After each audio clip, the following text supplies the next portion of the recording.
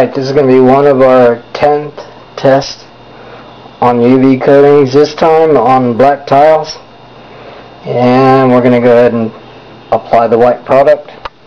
While he's doing that, I'll go ahead and shut the camera off and put my glasses on.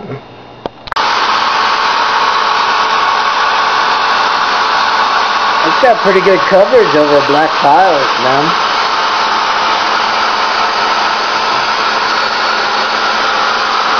Those are black tiles.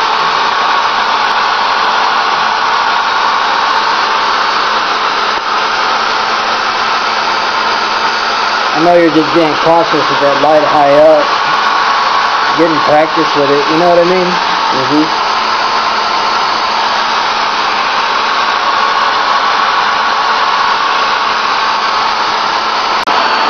Alright, this is our last coat.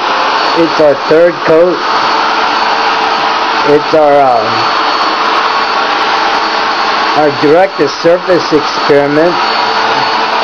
Want them to keep that light kind of high because we've got that. Uh, well, we had it formulated kind of a little bit transparent, but um, a while ago we couldn't even pull the tape off, and. Um, the light waves tend to break over and roll over the tile and cause the coating to pull back on itself so you can ripple the coating if you get the light too close. You know, if you can picture just something evaporating sort of, even though it's not evaporating, it's just reacting so quick it pulls away from itself. And this little light is so powerful that uh, we started out at an inch and now we seem to be getting to the right height. Um, I think what he's doing now is overkill. Well, we just want to make sure because like if you're in a customer's house, you know, last thing you want to do is go back or something because something didn't dry somewhere. Even though this has a little built-up backup system in it, um, might as well get it right the first time you know. Anyway, I think he's going to let it cool down and shut it. Now, in case you guys are wondering just how fast this stuff dries, Eric just put this down. I just picked this towel up. Now, what you're seeing in the reflection there is not the towel. I'm actually reflecting off some mini blinds or some some blinds there. This is the actual tile as you could see, you could look down into the tile and see the top of a ceiling fan. Now that's pretty darn glossy in my book. I mean, um, here we go. I'm going to show you some ceiling fan. There you go. Now, uh, I mean not ceiling fans, my uh, blinds in here. And then we'll show you the ceiling fan. But but how dry is it? Is it really dry? Hold on. Good. Alright, now, now, we had a piece of black tape there, and that product is on there so good and so hard that it welded our masking tape on there. Eric is having to pry the tape off. Remember, there's that's that's tape. Um, it, that wasn't even meant to be sprayed. I mean, we just went over it so that we'd have an edge to run a a razor blade under, but you know, and we had a straight line there. But look at that.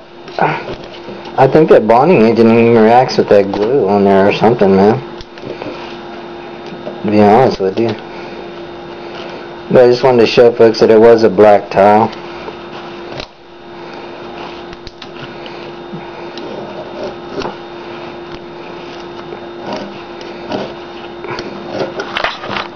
Hang over.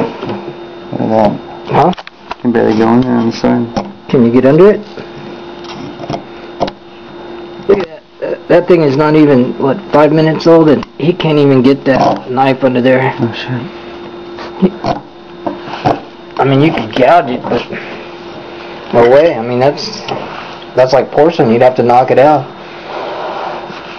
Pretty good, Eric. Really good. I'm gonna keep that towel, and I guess I'll mail the rest to some of the other guys. So they, look at that, that thing, it, like it, it, it chipped like porcelain when you hit it with a knife. I want you to get a look at that. This stuff didn't peel. It chipped like hard glass porcelain. That was Eric about 180 pounds and a sharp serrated knife on it. Uh, he's also a bodybuilder weightlifter, so it definitely wasn't a coating. Anyway, that's it. I, I think we're about ready. I think we need to start buying bucket loads of this stuff. This is our goal with PBR AIM. Just got done spraying this UV clear coat and it's super durable, super durable. I tried scraping it with a steak knife with 100, you know, 180 pounds of pressure and it didn't peel off or it had, it was literally chipped off. Um, it's a really good problem. Completing a test for the uh, UV clear coat. There are others out there, but remember PBRA is just a shade better.